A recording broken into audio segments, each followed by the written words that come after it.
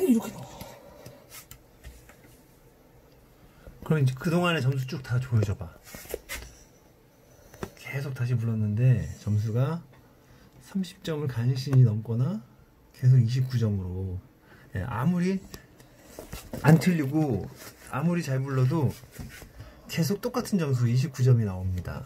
그리고 또 여기서 지금 악보를 보면 빨갛게 표시된 부분들이 지금 틀렸다는 것 같은데 이렇게 많이 지금 다, 다 음이 틀렸다고 하는 게 너무 이상합니다. 네, 지금 까만 게 몇 개 안 보이죠? 네.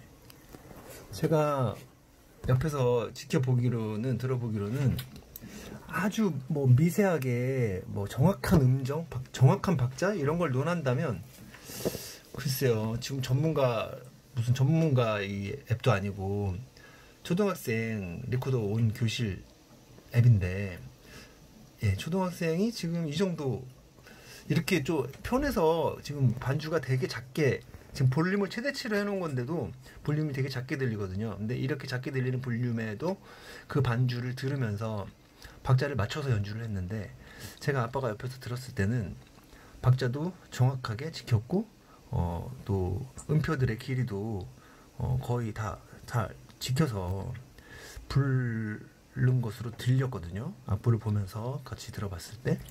근데 이 정도 부르면 100점이 만약에 아니라 100점이 아니라 한 70점, 80점 나왔다면 아, 그래도 뭐 아주 정교 정확하지 않게 정교하지 않은 부분이 좀 있었나 보구나 생각할 수 있지만 이 정도 잘 불렀는데 계속 29점이라면 이 앱에 문제가 있지 않나 싶습니다. 네, 어, 여러분들의 의견을 받고 싶습니다. 아마 지금 이거 직접 해보시면서 어, 같은 의견이신지 아니면 어, 더 높은 점수들을 받으시고 계신지 궁금합니다. 자, 의견 부탁드릴게요.